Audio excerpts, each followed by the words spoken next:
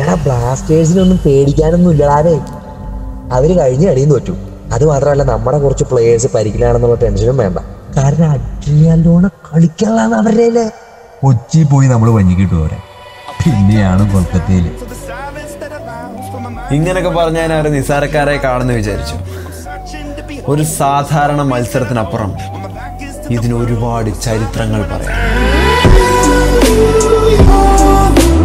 ഇരു ടീമുകളിലും ഏതൊക്കെ പ്രധാനികളില്ലെങ്കിലും ഇന്ത്യ കാണാൻ പോകുന്ന ടഫസ്റ്റ് മാച്ച് തന്നെയായിരിക്കും. That's why it's known the Indian El Clasico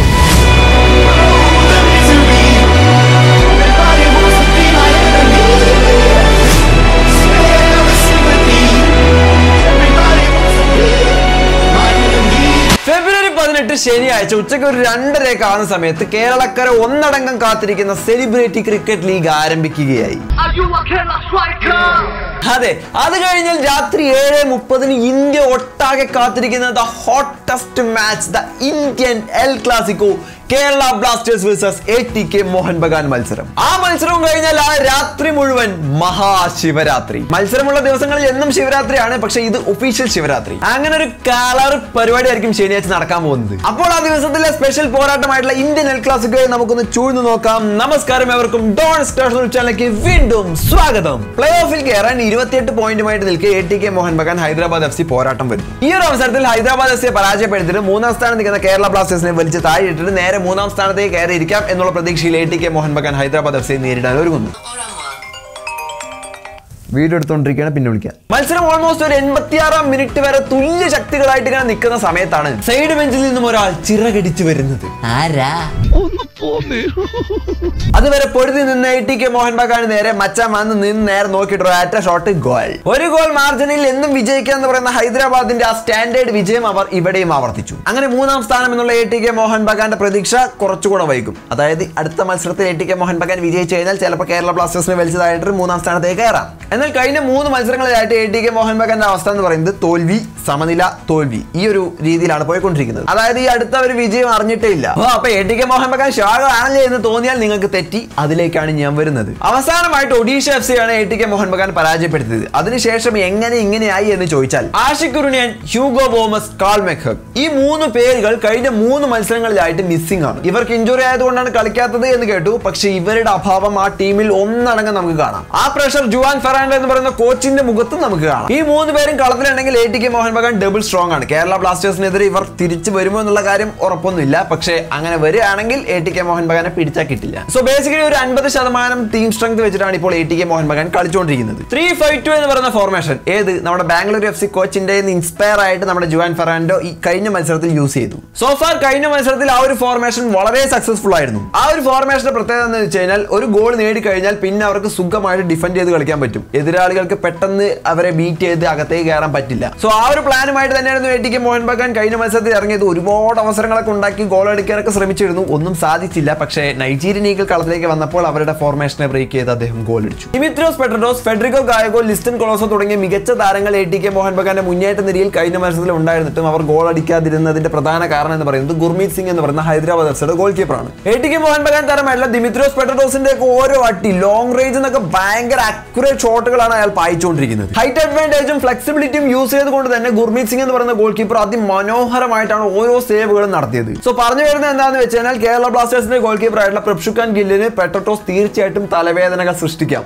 കരുതിയിരിക്കണം. ബോമസും ആഷിക്കും ഇല്ലാത്തത് കൊണ്ട് തന്നെ ബോക്സിനകത്തേക്ക് കയറി ഗോൾ ഇടുന്നതിനേക്കാൾ long range ഷോട്ടുകളാണ് A T K Mohun Bagan prefer ചെയ്യുന്നത്. ഡിഫൻസിലെ Slavko Damjanovic Brendan Hamill and Pritam Kotal തുടങ്ങിയ വൻ മരങ്ങളാണുള്ളത് ബ്ലാസ്റ്റേഴ്സ് കഴിഞ്ഞ മത്സരങ്ങളിലെല്ലാം യൂസ് ചെയ്ത് വന്നിട്ടുള്ള ക്രോസുകളിലൂടെ ഗോൾ കണ്ടെത്തുക എന്ന് പറയുന്ന തന്ത്രം ഇവർക്കെതിരെയും പ്രയോഗിച്ചു കഴിഞ്ഞാൽ പരാജയമായിരിക്കും ഫലം. കാരണം ഭയങ്കര ഹൈറ്റുള്ള ഡിഫൻഡേഴ്സ് ആണ്. മിസ്റ്റേക്കുകളൊന്നും വരുത്തിയില്ലെങ്കിൽ അവർക്ക് സുഖമായിട്ട് ഓരോ അറ്റാക്കുകളെയും ബ്രേക്ക് ചെയ്യാൻ സാധിക്കും. പിന്നെ കഴിഞ്ഞ മത്സരത്തിൽ A T K Mohan Bagan താരമായിട്ടുള്ള Glenn മാർട്ടിനസിന് കൂടെ പരിക്ക് പറ്റി അദ്ദേഹം പുറത്തു പോയിരുന്നു അതായത് A T K Mohun Bagan കഴിഞ്ഞ മത്സരം വരെയും പരിക്കിന്റെ പിടിയിലാണ് നടന്നുകൊണ്ടിരിക്കുന്നത്. ബ്ലാസ്റ്റേഴ്സിനെതിരെ കളിക്കുമ്പോൾ ഈ പരിക്ക് പറ്റിയ താരങ്ങളെല്ലാം തിരിച്ചു വരുമോ എന്നുള്ള കാര്യമൊന്നും അറിയില്ല. പക്ഷേ സോഫാർ അവർ കുറച്ച് കഷ്ടപ്പാടിലാണ്. പിന്നെ ഒരു കാര്യം കൂടെ പറയാം. നമ്മുടെ പുട്ടിയ കഴിഞ്ഞ മത്സരത്തിൽ ആദ്യ ലെവലിൽ സ്റ്റാർട്ട് ചെയ്തിരുന്നു. അതുകൊണ്ട് തന്നെ കേരള ബ്ലാസ്റ്റേഴ്സിനെതിരെയും അദ്ദേഹം കളിക്കും എന്ന് തന്നെയാണ് പ്രതീക്ഷിക്കുന്നത്. സോ ഇങ്ങനെ കേട്ടപ്പോൾ എ ടി കെ കുറച്ച് ശോകാവസ്ഥയിലാണെന്ന് നിങ്ങൾക്ക് തോന്നിയിട്ടുണ്ടെങ്കിൽ അത് മാത്രമല്ല കേരള ബ്ലാസ്റ്റേഴ്സ് അതിനേക്കാൾ ശോകാവസ്ഥയിലാണ് പോയിക്കൊണ്ടിരിക്കുന്നത്. അഡ്രിയൻ ലൂണ നാല് യെല്ലോ കാർഡുമായി സസ്പെൻഷനിൽ അടുത്ത മത്സരം കളിക്കുന്നില്ല. ലൂണ ഇല്ലാത്ത ബ്ലാസ്റ്റേഴ്സ് ഉപ്പില്ലാത്ത അറിയാലോ. പിന്നെ ഈ മത്സരത്തിലെങ്കിലും ലെസ്കോവിച്ച് തിരിച്ചു വരുവാടേ? റെസ്റ്റ് കൊടുത്തേക്കാൻ മതി. ഇനി കുറച്ച് റിസ്ക് ഒക്കെ എടുക്കാം കേട്ടോ. ലെസ്കോവിച്ച് മടങ്ങി വരുവാണെങ്കിൽ കേരള ബ്ലാസ്റ്റേഴ്സിന്റെ വിദേശ അണിനിരത്തലിൽ നമുക്ക് രണ്ട് ഓപ്ഷനുകളാണുള്ളത്. ഒന്ന് ലെസ്കോവിച്ച് വിക്ടർ ബോങ്കിൽ ഒരു ഫോറിൻ സെന്റർ ബാക്ക് കോംബോയിൽ നമുക്ക് ഒരു പരീക്ഷണം നടത്താം. ഇത്തരം റിസ്ക് ക്രൂഷ്യൽ മത്സരങ്ങളിൽ അങ്ങനെ ഒരു പരീക്ഷണം നടത്താൻ താല്പര്യമില്ലെങ്കിൽ നമുക്ക് ലെസ്കോവിച്ച് ഹോർമിപ്പം കോംബോയിൽ തന്നെ മുന്നോട്ട് പോവാം. അങ്ങനെയെങ്കിൽ ജിയാനോ ദിമിത്രിയോസ് കോംബോ നമുക്ക് മുന്നേറ്റത്തിൽ കാണാം. അപ്പോൾ ജീക്സൺ സിംഗും ഇവാൻ കലൂഷിനും കൂടെ മധ്യനിര ബാലൻസ് ചെയ്തോളും. ഇനി ഡാനിഷ് ഫറൂഖിന് ആദ്യ ലെവലിൽ ചാൻസ് കിട്ടാനും സാധ്യതയുണ്ട്. അങ്ങനെ ലൈനപ്പ് ഇൻട്രോഡ്യൂസ് ചെയ്യുന്ന സമയത്ത് ഫോർ ഫോർ ടു എന്ന് പറയുന്ന ഫോർമേഷനിലായിരിക്കും കൂടുതൽ പ്രിഫർ ചെയ്യാൻ സാധ്യത. ജിയാനുവിനെയും ദിമിയെയും ആദ്യ ലെവലിൽ തന്നെ പരീക്ഷിച്ച് കഴിഞ്ഞാൽ ബെഞ്ച് സ്ട്രെങ്ത്തിന്റെ കാര്യം കുറച്ച് ശ്വാഗമായിരിക്കും അതൊന്നും പറയാൻ പറ്റില്ല. പിന്നെ ഒരുപാട് പേര് ചോദിച്ച ഒരു സംശയമാണ് രാഹുൽ കെ പിക്കും ഇവാൻ കലുഷ്ണിക്കും അടുത്ത മത്സരം കളിക്കാൻ പറ്റുമോ എന്നുള്ള കാര്യം. അതെന്താണ്? അങ്ങനെ ഒരു സംശയം വരാനുള്ള കാരണം എന്ന് വെച്ച് കഴിഞ്ഞാൽ നാല് യെല്ലോ കാർഡ് കിട്ടിക്കഴിഞ്ഞാൽ ഒരു പ്ലെയറിന് ഒരു മത്സരം സസ്പെൻഷനാണ് സസ്പെൻഷൻ കഴിഞ്ഞ് തിരിച്ചു വന്ന പ്ലെയറിന് വെറും മൂന്ന് യെല്ലോ കാർഡ് മതി അടുത്തൊരു മത്സരം സസ്പെൻഷൻ കിട്ടാൻ. ആ സസ്പെൻഷൻ കഴിഞ്ഞ് തിരിച്ചു വന്ന പ്ലെയറിന് വെറും രണ്ട് യെല്ലോ കാർഡ് മതി അതിന്റെ അടുത്ത മത്സരം സസ്പെൻഷൻ കിട്ടാൻ. പറഞ്ഞത് മനസ്സിലായെന്ന് വിചാരിക്കുന്നു. അതായത് നാല് യെല്ലോ കാർഡ് മൂന്ന് യെല്ലോ കാർഡ് രണ്ട് ഇതിന്റെ ഇടവേളകളിൽ നമുക്ക് ഓരോ സസ്പെൻഷൻ കിട്ടും. അങ്ങനെ നോക്കുന്ന സമയത്ത് ഇവാൻ കലുഷ്ണിക്കും രാഹുൽ കെ പിക്കും നിലവിൽ ആറ് യെല്ലോ കാർഡ് ഉള്ളത്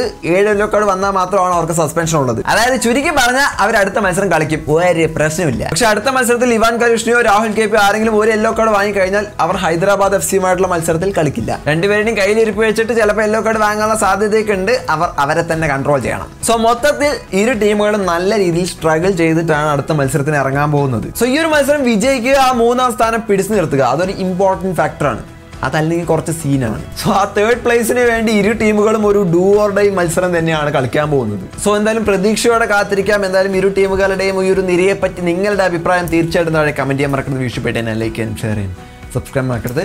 മറ്റൊരു മറ്റു കൊണ്ടുവന്നിരിക്കും ബൈ ആ കേട്ടത് ശരിയാണോ? ആ മുംബൈ തോറ്റു.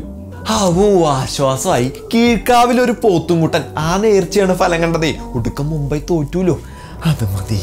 ആ അതൊക്കെ ശരിയാണ്. പക്ഷെ ബാംഗ്ലൂർ ജയിച്ചത് ബ്ലാസ്റ്റേഴ്സിന് ചെറുതായിട്ട് തിരിച്ചടിയായി. ഹേ അതൊരു പ്രശ്നമാവോ? അത് മാത്രമല്ല ഈ പുതുവർഷം ആരംഭിച്ചതിന് ശേഷം കളിച്ച ഏഴ് കളിയും ബാംഗ്ലൂർ എഫ് സി ജയിച്ചു. അതായത് ഒരു അൺബീറ്റൻ റൺ സ്ട്രീക്ക് തകർന്നപ്പോൾ മറ്റൊരു അൺബീറ്റൻ റൺ സ്ട്രീക്ക് തുടങ്ങി. അങ്ങനെയാണെങ്കിൽ മോനെ ഒരു നേർച്ചയ്ക്കുള്ള പോത്തും കൂടെ കൂടെ ഇറക്കിക്കോളൂ ബാംഗ്ലൂർ എഫ് സിയുടെ അൺബീറ്റൺ ആണല്ലേ